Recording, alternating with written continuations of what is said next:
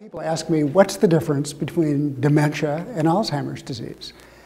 Dementia is actually a group of symptoms that occur where people's brain is, not, they're not processing information the way they used to, and it's severe enough to interfere with their ability to do things.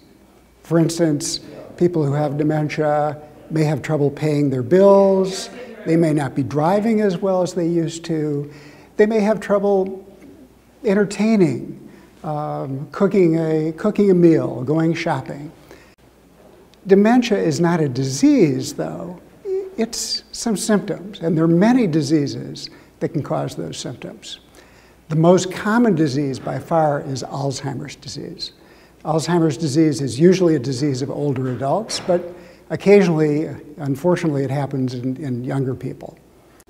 It's important to know the difference, um, the different types of dementia and what's actually causing it because the treatments are, are a bit different.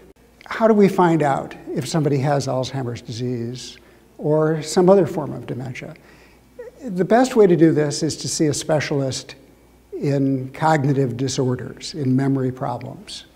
And what we do is we talk to the person and we talk to somebody who has a lot of information about what's been happening with this person, usually a family member, a child, or a spouse.